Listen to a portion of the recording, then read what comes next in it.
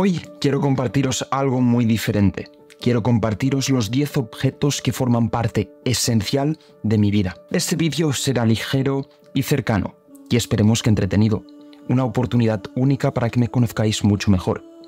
Como sabéis, mi prioridad es que cada pieza de contenido que saco tenga un propósito aplicable para vuestra vida, que sea un paso a paso práctico que os pueda ayudar a mejorar, ni que sea un poco algún aspecto de vuestra vida. Entonces, para mí, este tipo de vídeos, así más superfluos y personales, no son una prioridad.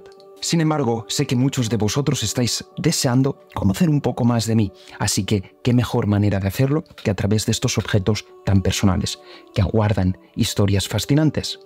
Algunos que os presentaré de estos objetos simplemente son por mera utilidad, cumplen una utilidad muy importante en mi vida, pero otros, otros son fragmentos de mi historia materializado en recuerdos de lo que yo fui en su pasado, yo soy en un presente, lo que me gustaría ser o deseo ser en un futuro. Así que, con esto dicho, me encantaría pasar al primero, que es un ritual sagrado después de comer. Cuando era niño, los miércoles era el día que iba a comer a casa de mis abuelos, personas muy humildes, familiares y trabajadoras. Después de comer las deliciosas lentejas que preparaba mi abuela con esmero y dedicación, jugaba al ajedrez con mi abuelo. Antonio fue quien me enseñó a jugar al ajedrez durante esas sesiones que a mí me encantaban. Recuerdo que yo medía un palmo, apenas sacaba la cabeza por la mesa y lo observaba con cautela, con detalle, cómo movía las piezas, al mismo ritmo que seguía un ritual muy particular, que era comer un poco de chocolate negro y su café. Sucesivamente, mientras movía las piezas de forma estratégica, él iba comiendo un poco de chocolate y bebiendo un poco de café. Ese ritual pasó a ser parte de mí para siempre. ¿Y qué os traigo por aquí? Os traigo el café de especialidad del chocolate. 85% como le gustaba a él. Recuerdo muy vividamente cuando fue la última vez que saboreé este ritual con él. Me acuerdo perfectamente, era un día caluroso de verano, estábamos en la terraza, él tenía una camisa azul con topos blancos, jugábamos al ajedrez. Recuerdo que era el día que yo me despedía porque tenía que volver a Francia a continuar mis estudios en Lyon. Y me acuerdo que yo, después de años y años y años jugando con él, nunca lo había ganado. Derrota tras derrota tras derrota, muchos aprendizajes, pero nunca había ganado a mi abuelo, salvo esa vez. Esa vez fue el primer día que yo gané a mi abuelo. Me acuerdo que saboreamos juntos este ritual, nos dimos un abrazo, me despedí y me fui, sin saber que desgraciadamente esa sería la última vez que vería a mi abuelo. Dos meses más tarde, ya estando en Lyon, mi madre me llamó comentándome que mi abuelo había fallecido a causa de un cáncer repentino, inesperado. Yo solo empecé a reflexionar sobre la última vez que lo vi. Y automáticamente me vino como el mensaje en la cabeza. Entendí por qué había sucedido esa victoria. Y era la siguiente. Mi abuelo me estaba enviando un mensaje muy claro. Me estaba diciendo, Adrián, ahora te he transmitido yo todos los aprendizajes necesarios para que tú puedas enseñar a tus hijos y a tus nietos a jugar al ajedrez, junto con café y chocolate después del comer. Era su mensaje de decirme, es tu turno, Adrián. Es tu turno de ahora ser el profesor. Un objeto de compromiso y respeto a mi palabra. Esta pluma tan especial llegó a mis manos el día de mi comunión.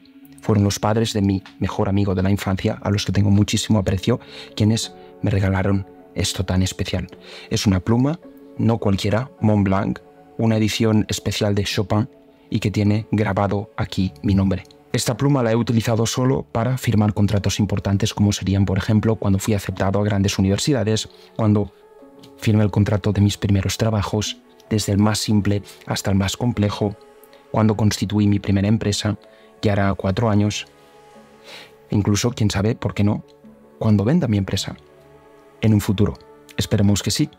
Pero no solo eso, esta pluma también la utilizo para firmar contratos aún más importantes, contratos que firmo conmigo mismo. No sé si os lo había explicado, pero yo suelo firmar contratos conmigo mismo. Hay épocas en el año cuando yo quiero centrarme en un objetivo y establezco una rutina y unos hábitos que quiero seguir y cumplir. Una vez ya diseñado la estrategia, lo redacto todo en un contrato, condiciones, consecuencias, recompensas y demás, y lo firmo. Para mí es un acto muy especial de respeto a mi palabra, de compromiso, de disciplina. Una vez firmo, ahora debemos cumplirlo. y si no estoy atentando contra mi propia dignidad y contra el valor de mi propia palabra. Pasamos al siguiente objeto. La mejor inversión en salud, tiempo y libertad. A los 18 años me vi con la necesidad de aprender a cocinar. Cuando cuidaba niños, ya sea siendo au o ya sea siendo babysitter, tenía que evidentemente aprender a cocinar ricas recetas que ellos pudieran comer, si no me la liaban parda. Entonces fue una obligación, una manera para mí de tenerlo todo bien controlado y también de sumar puntos de cara a los padres. ¿Qué pasa? Que le empecé a encontrar placer. Como mi abuela y mi madre me transmitieron, pues la cocina es un arte precioso. Y pasó de algunas recetas básicas con la Thermomix a ir ya desarrollando estabilidad tanto para cenas con amigos, citas o cualquier otro propósito. Encontré el placer en eso. Desde entonces, y gracias también, como siempre os he comentado, a la educación que me ha transmitido mi madre, he dado muchísima importancia a lo que como y cómo lo como, siempre buscando alimentos saludables y de la mejor calidad. Sin embargo, últimamente descubrí un hack de vida que ha transformado radicalmente mi forma de vivir. He contratado a dos chefs privados, increíbles personas que se llaman Guido y Mai. Su presencia no es un lujo superfluo, es una inversión en calidad de vida. No únicamente me libera de una carga, porque no deja de ser una carga costosa el hecho de cocinar, sino que también es una inversión en tres cosas muy importantes, en salud, tiempo y libertad. Me permiten concentrar en mi propósito, dedicar toda mi energía y foco en él, mientras cuidan de mi salud incluso me hacen detalles espectaculares que a veces me recuerdan a mi madre, cómo me cuidan, preparándome pasteles para mi cumpleaños o incluso preparando galletas saludables para mis amigos, tantos detalles increíbles que me llenan el corazón de alegría. Son personas excepcionales, me recuerdan, de hecho, a mi madre como os he comentado. Entonces, el dinero está para eso, no para lujos superfluos, sino para invertir en cosas que te devuelvan estos tres, tres atributos, recursos muy importantes de tu vida. Salud, tiempo y libertad. Mi mayor protección. Esta pequeña bolsa, de apariencia humilde, sin nada especial, es uno de mis mayores, por no decir el mayor tesoro que tengo. En ella guardo unos objetos muy importantes para mí que utilizo cada mañana para mi ritual religioso. Pues primero de todo os voy enseñando, aquí tenemos un rosario, St. Patrick Cathedral de Nueva York, lo compré ahí. Luego aquí tenemos un rosario que me regaló mi madre. Aquí unas oraciones Jesús al Sagrado Corazón de Jesús para conseguir tres gracias. Esto me lo regaló mi tía Aquí también una de, San Benito. Que tenemos por aquí. Estas dos piedras muy espirituales me las regaló mi madre en un momento dedicado para mí hace muchos años y siempre me han acompañado en este camino. Siempre están conmigo. Me las regaló cuando sufría una etapa un poco difícil de mi vida. Aquí tenemos dos objetos muy especiales del santuario de Saint-Charbel eh, del Líbano, de Beirut. Cuando yo fui a visitar el Líbano con mi expareja, me regalaron esto en el santuario de Saint Charbel y para mí Saint Charbel es un santo que tiene mucha presencia en mi vida y al que respeto mucho y al que, al que muchas veces rezo, rezo. Así que para mí es muy especial.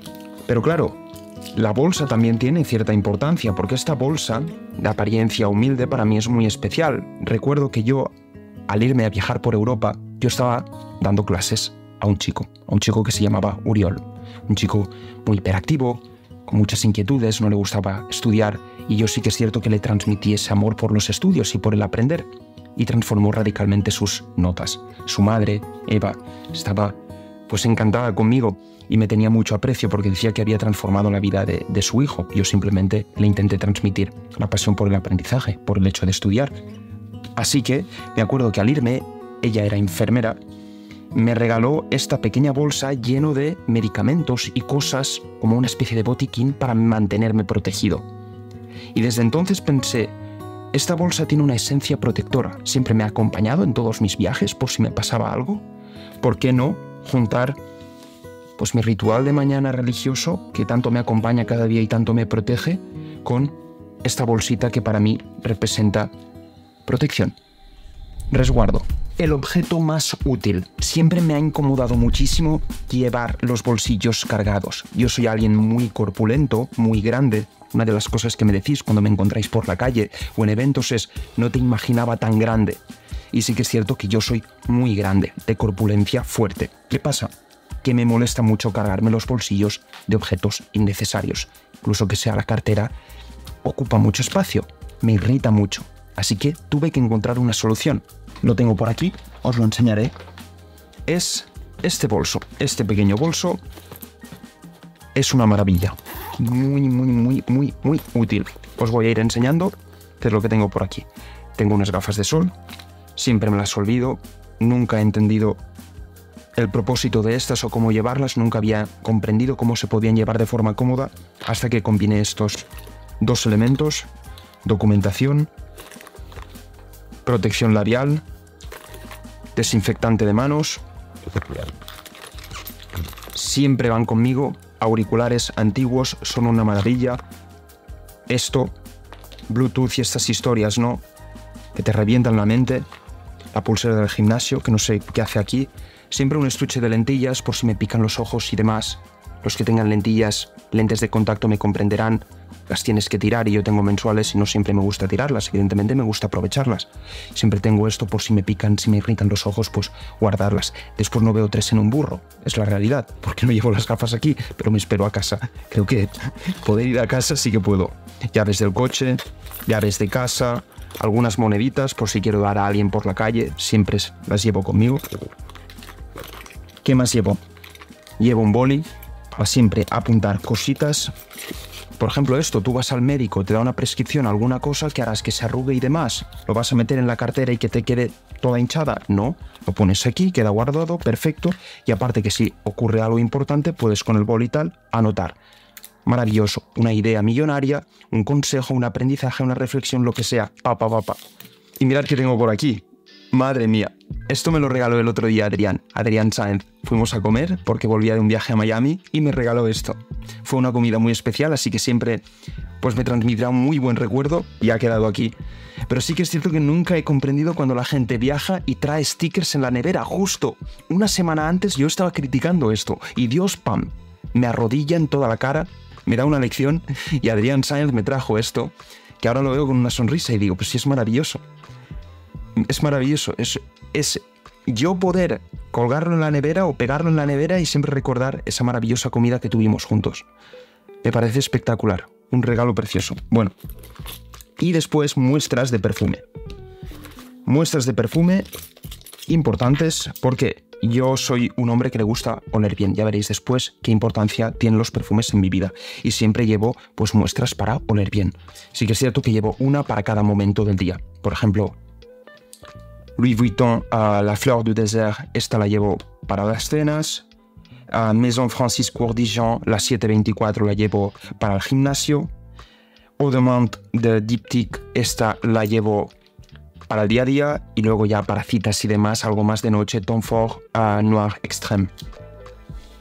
Y finalmente, un caramelito, caramelito siempre llevo para dar a los demás o para hidratarme la voz muy importante, la herramienta más importante. Y esto es todo. En algo tan simple se encuentra la perfección. Podéis cogeros uno de las mismas medidas. Es perfecto, fenomenal, súper cómodo para hombres, elegante, atractivo. Y si os quieren llamar homosexual por llevar un bolso, creo que el problema lo tienen ellos y no tú. Así que no te preocupes por ser juzgado por llevar un bolso. Viajar así es una experiencia distinta. Durante años viajar fue una lección constante de humildad y perseverancia.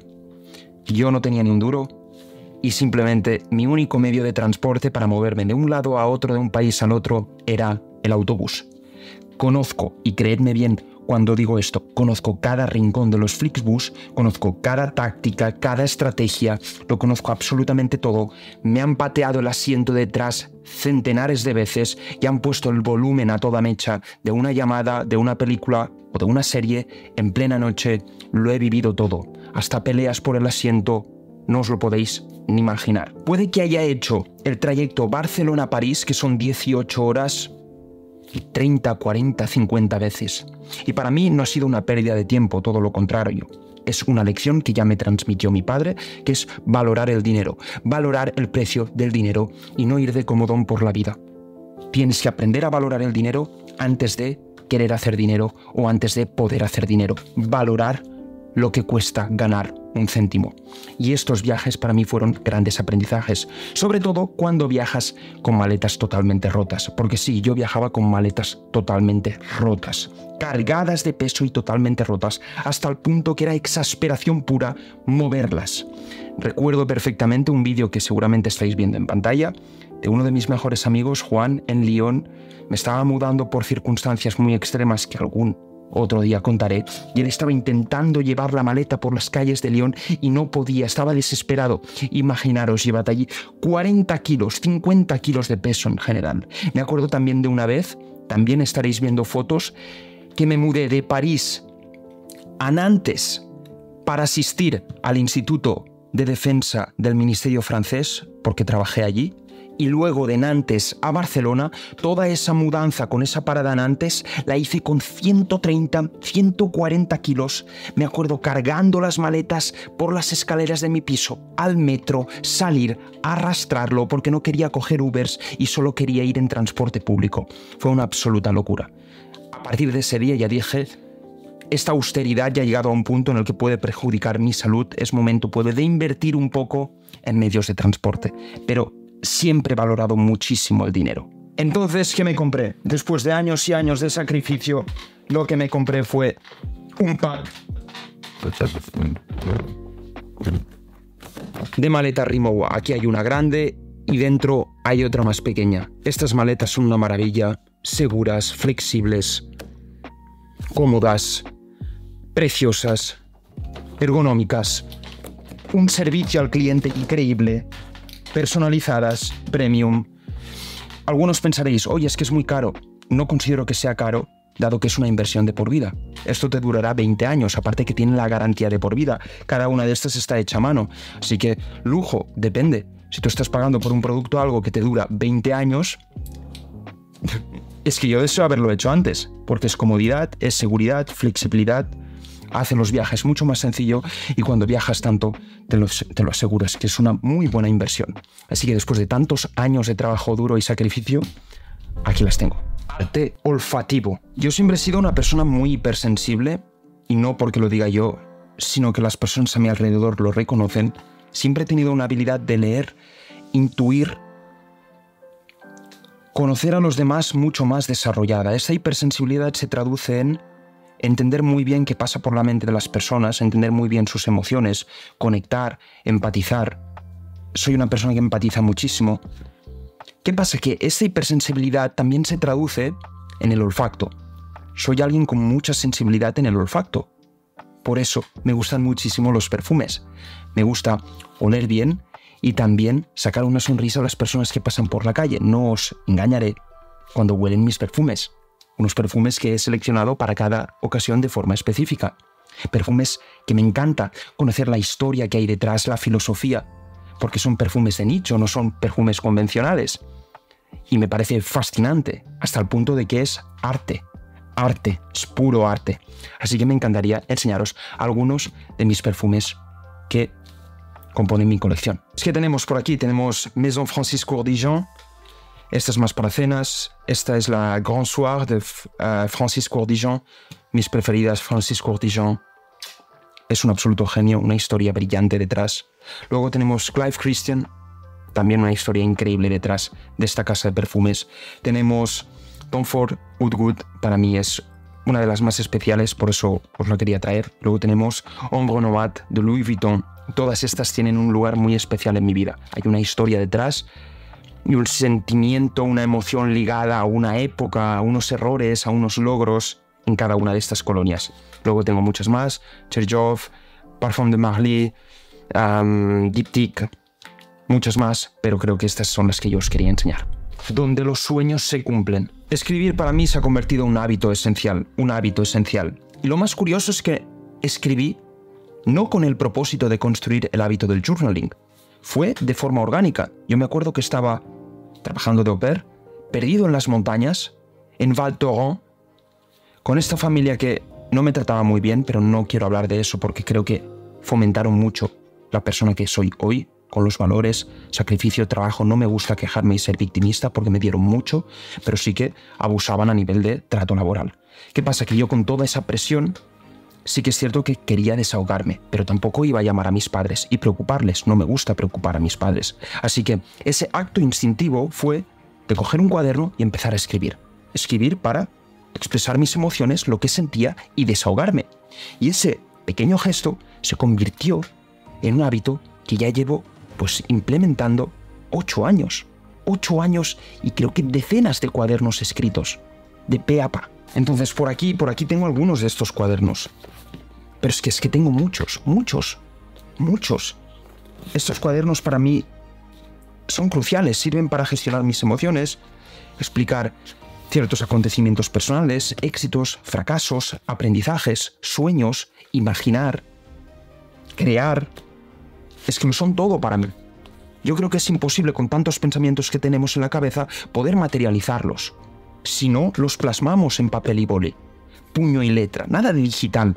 Esto, esto es crucial. Debemos retomar este hábito. El portal a otras vidas. Lo he dicho alguna vez ya.